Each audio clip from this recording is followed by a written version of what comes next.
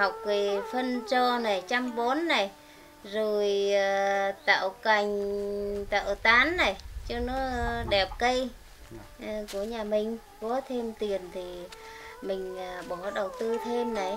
Rồi mình nếu mà dư ra thì con cái nó lớn rồi thì thôi để cho con cháu ăn học cứ thôi đấy. lợi ích nhiều lắm. Lợi ích cho gia đình mình này có phát triển kinh tế này rồi cũng cảm ơn uh, rốp rất là cảm ơn cái, cái, cái sự quan tâm của, của dự án và cảm ơn sự ăn rút Cảm ơn dự án ơn